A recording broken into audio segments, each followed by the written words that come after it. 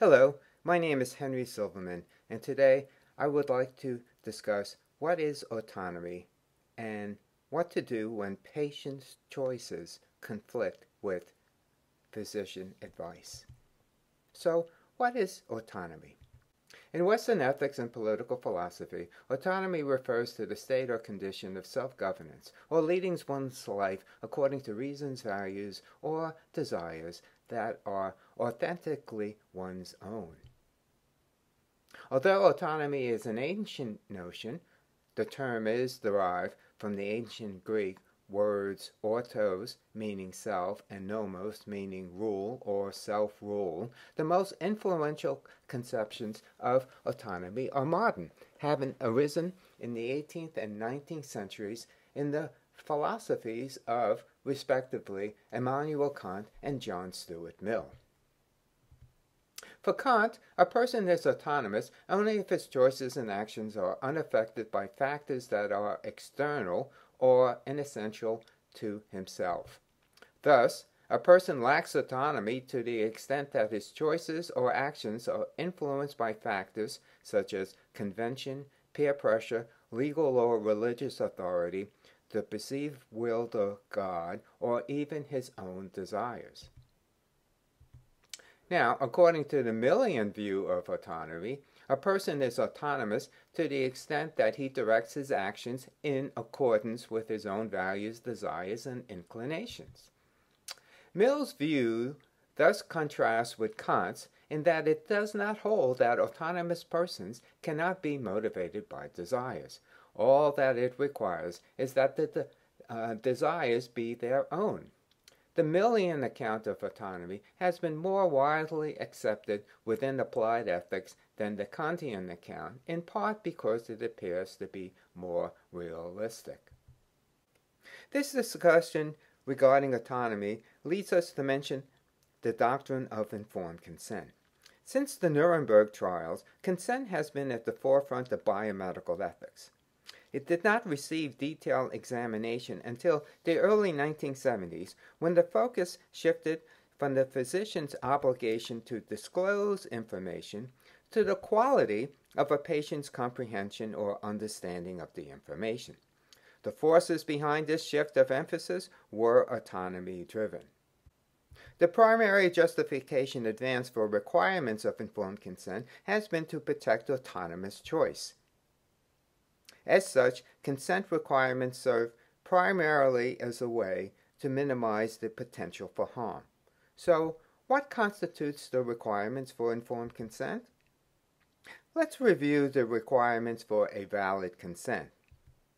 First, there needs to be adequate disclosure of information by the healthcare team.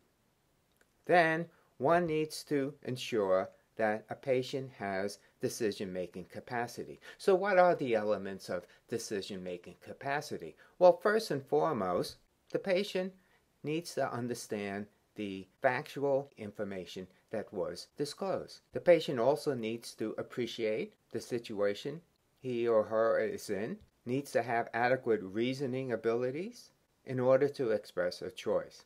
In addition to decision making capacity, one has to ensure that the choice is voluntary. In other words, the choice is being made in a non coercive setting.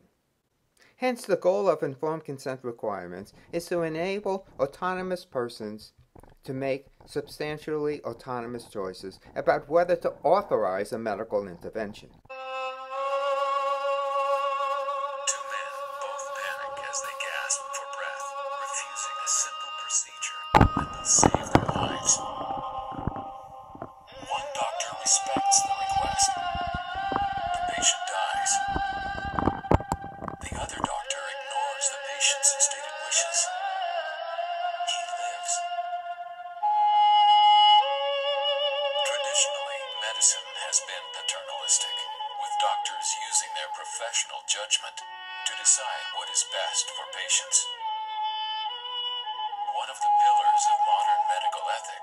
Autonomy, a patient's right to information to make their own decisions regarding their treatment. But is this always the wisest course of action? The most ethical, the most humane. Should autonomy have its limits? So, should there be limits to autonomy? Not infrequently, a tension occurs between respecting autonomous choices and discharging our obligations of beneficence or acting in the best interests of patients. So, what is the source of the tension between autonomy and beneficence?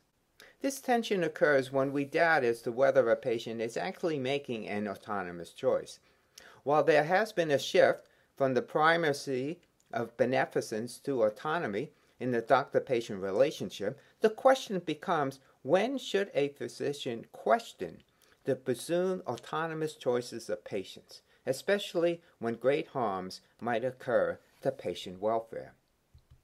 At this point, I would like to introduce the concept of substantially autonomous choice, taken from the ideas of Faden and Beauchamp. The concept is that no one makes autonomous choices that are fully autonomous, that is, making choices with complete understanding and that are completely non control. To chain human choices to a goal of fully autonomous decision making strips the concept of autonomy of any meaningful place in the practical world, where people's actions are rarely, if ever, fully autonomous.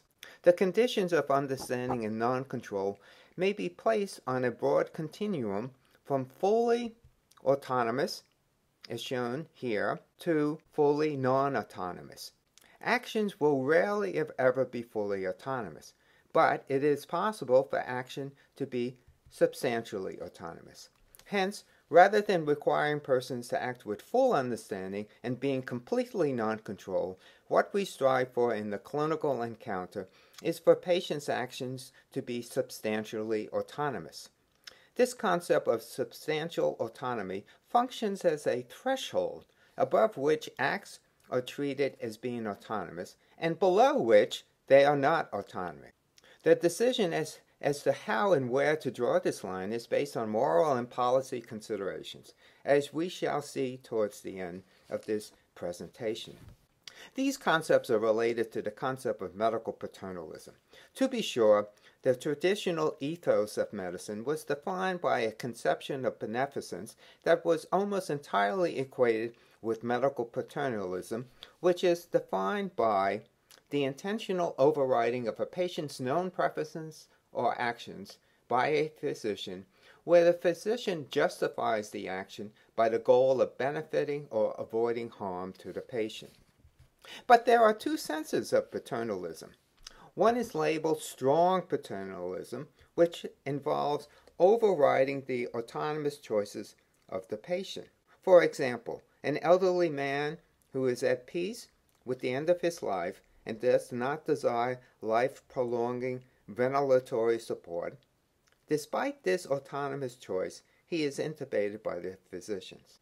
On the other hand, there is weak paternalism, where one overrides the choices of the patient. But in this case, the choice is non autonomous, or rather, the patient lacks the capacity to decide. In this case, one is acting in the best interest of a patient who lacks capacity to decide.